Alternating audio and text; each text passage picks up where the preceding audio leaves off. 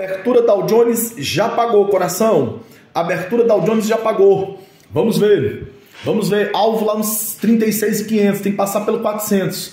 Vamos ver se vai mais. Deram uma puxada para cima lá, já bateram, defenderam o topo. SP500 Dow Jones no topo. Pode vir rasgando para baixo agora. Vamos ver. Vamos ver se é impressão. Genial XP calçando o preço, querendo segurar o preço. E nessa região agora 33 mil contratos de compra mercado.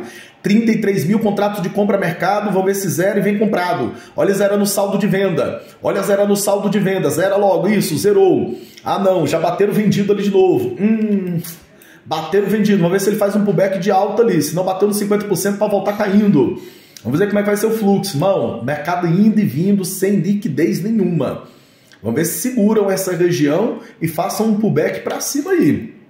Façam um pullback para cima do índice. Negou a região, marca aquele ponto lá do 400, é retração do 400 e a negação aqui do 36. Mas bateram lá 30 mil contratos nessa puxada.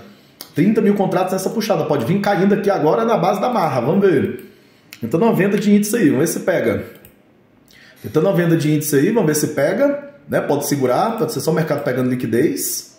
Né? Pode não ir mais, pode não ir mais, porque está retraindo para os dois lados. Está retraindo para os dois lados. Se virar, perder a VWAP. Se virar, perder a VWAP, vendido no índice, está rabiscando, só toma cuidado.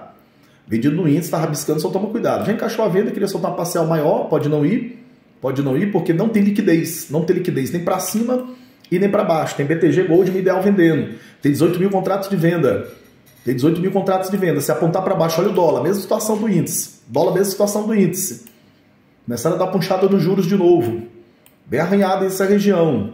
Bem arranhada essa região. Olha o dólar. O dólar ganhando força, ganhando pulso para cima. Ver se vem.